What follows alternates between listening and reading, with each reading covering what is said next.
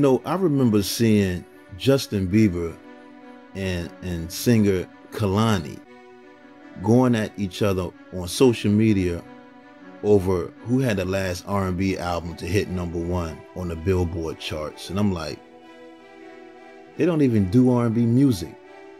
They do pop music. I, I just don't get it. Why would the music industry get rid of the R&B music genre? I mean, don't get me wrong, right? I love hip hop. It's the number one selling genre right now. But when you chilling with your girl, you're gonna turn on some real old school smooth R&B soul music to get the mood right. What happened to R&B music, man? Millions of babies was made off R&B music, and that whole category just disappeared out, out of nowhere, man. Anyway, soul music just just bring back so many memories, man. When mama and daddy used to play music all day and all night while they was playing cards, drinking, smoking, cooking. All your cousins is at your house. The good old days. But um this episode, right, I want to talk about the great female R&B trios and it's really hard to pick who had the best voices when it comes to harmonizing and blending it all together to make that beautiful, perfect sound because all music was good back then. I mean, R&B music has produced some of the greatest female groups to ever step on stage. Of course, you had the Supremes, the Emotions, SWV, LaBelle, the Three Degrees, TLC, Jay. Oh, Jay was my girls. Brownstones, uh, Blaque, 702, Total, Pointer Sisters, Honeycomb, the Ronettes. I even think 3LW had a great sound as a trio. It was, and it's many more, Mokenstef. It's a lot. It's a lot more. But one group, and they were real blood sisters, could sing and make their voices sound like one and that's the Jones girls. They was beautiful, they had the voices, and they had the talent. Let's get into the story right now. The Jones girls, starting from the oldest, which was Shirley, was born on September 22nd, 1953. Brenda was born December 7th, 1954, and Valerie was born April 17, 1956, in Detroit, Michigan. Now, growing up in Detroit, of course, their music idols were Diana Ross and the Supremes and that whole Mo- Motown sound with Berry Gordy. But a big influence on them was their mother, who was also a singer, and she was also the choir director for their church.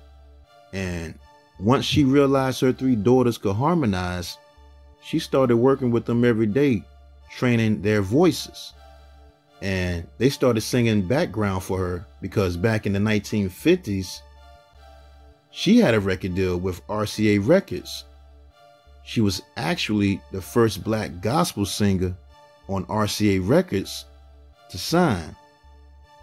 The same day she signed her contract, Little Richard signed his contract with RCA Records. Now, their mother, Mary Frazier Jones, she had a beautiful voice, man. If y'all go to YouTube, she did a version of the song Put a Little Love in Your Heart with the Jones girls singing in the background when they was real young. That's on YouTube. Y'all can check that out. Now, their mother kept them busy rehearsing every day to keep them out of trouble and away from the bad boys. That's when she started taking them all around Michigan, Ohio, Illinois, singing and performing with her, calling themselves Mary Frazier Jones and the Jones Sisters. And a couple of known gospel groups they performed with during that time was the Winans and the Clark Sisters. Now,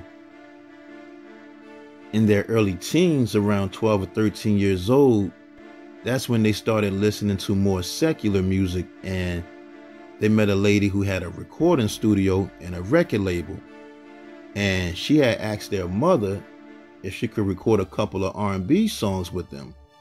Now, once they started recording with her and got a little buzz around the city, they ended up meeting a guy named McKinley Jackson who loved their voices and he wanted to bring them to meet Holland Dozier Holland. Now, for those who don't know who they are, they were responsible for all the Motown hits like The Supremes, Where Did Our Love Go, Baby Love, The Four Tops, Sugar Pie, Honey Bunch, Martha and the Vandellas, and the list goes on. Because see, when Holland Dozier Holland had left Motown after having a fallout with Berry Gordy about money, they started their own record labels called Invictus Records and Hot Wax Records. And they needed some background singers for their new artists, Freda Payne and Honeycomb. Now, while they was doing background, they did drop their own singles like um Come Back, You're the Only Bargain I've Got, Your Love Controls Me, and Taster of the Honey, which was released on Music Merchant Records. After that, they ended up meeting um, Curtis Mayfield, who loved the way they sound after they was doing some background for the Impressions. That's the group Curtis Mayfield was in. And Curtis Mayfield ended up signing them to his label called Curtom Records. And they released the singles with him called uh, If You Don't Love Me No More and Will You Be There, which really didn't make any noise on the charts. They had a whole album with Curtis Mayfield, but he never put it out. But everybody in the industry still wanted them to sing and harmonize on their songs, and they continue to do background for artists like Aretha Franklin, Tower of Power, Betty Everett, and many more. That's when their manager told them that Diana Ross needed some backup singers for her London tour and asked them to audition for her. Now, when Diana Ross heard them harmonize, she was blown away and hired them right on the spot as her backup singers. But see, when they got with Diana, Diana Ross knew that they was too good to stay backup singers. And it was only a matter of time before someone offered them a record deal. And she was right because Gamble and Huff was at her show in Philly looking for a female uh, vocal group because they had just had a falling out with their um, girl group called the Sweethearts. Now, y'all probably know Gamble and Huff from their record label called PIR, Philadelphia International Records, better known as the Philly Soul Sound. And they, I mean, you know, they had artists like the O'Jays, Harold Melvin and the Blue Notes, Teddy P, Billy Paul, Lou Rawls, Patti LaBelle, and many more. And when they were at Diana Ross's um, show in Philly, they paid more attention to the Jones sisters' background vocals than Diana Ross singing on stage. But you know, Diana Ross used to let them sing while she would go backstage and, and change clothes. After the show, Gamble and Huff offered them a contract to sign to their label. And once they signed, he changed their names from the Jones sisters to the Jones girls. Now, when they got with Gamble and Huff, they were still doing a lot of backup singing until their time finally came. And in early 1979, they released their self-titled debut album with the singles You're Gonna Make Me Love Somebody Else, which hit number 5 on the Soul Singles chart, number 12 on the disco chart, and number 38 on the Billboard Hot 100, selling over a million copies, pushing the album to certified gold. And I remember Jay Z, um, he sampled that song for his um for the song "The City Is Mine" featuring Blackstreet on the In My Lifetime Volume One album. I used to pump that junk all the time. But um, look, the Jones Girls, that album, that debut album, straight classic. It also had the song "Who Can I Run To," and hey, I love I love the group Xscape version too, but they couldn't do it like the Jones Girls though. They they that was a hit. But the song I really loved the most off that album, my favorite song was uh This Feeling's Killing Me. That's my junk right there. Brenda, I think Brenda sung lead on that. She did a thing on that one. Now, in 1980, they released their second album titled At Peace with Women, which did hit number seven on the top sold album charts, and the single Dance Turned into Romance reached number 22 on the US soul charts. But the single that did it for that album was I Just Love the Man, which reached number 9 on the US soul charts. Hey, who remember the group Everyday Emotions remaking that song for the House Party 3 movie soundtrack? Y'all remember at the end when Kid finally got married and they was playing that song at the end and Bernie Mac kept kissing on that stripper saying who you with? Yeah, I gotta watch that movie now. House Party 3. Yeah, but that song I just love the man probably was the highest charting song off that album. Now, the following year in 1981, they released their third album titled Get As Much Love As You Can with the singles I Found That Man of Mine and Nights Over Egypt, in which is one of everybody's favorite songs. And I love the Nights Over Egypt beat, man. Especially when that beat come on. I might have to sample that beat. Now, after that album, the Jones Girls and Gamble and Huff didn't see eye to eye on the money side of things, and the record label was going through some problems. Plus, their contract was up, so they decided to leave and sign with RCA, and they released the album titled On Target. Now, that album on Target, that was a whole different sound from what people were used to hearing from them. And they had worked with uh, Luther Vandross, writer uh, Fonzi Thornton on that album. But the album really didn't make any noise on the charts because Gamble and Huff, all that unreleased material he had of them, they ended up releasing the album at the same time and I think the album was titled uh, "Keep It Coming." They released that album at the same time, which might have confused the fans a little bit.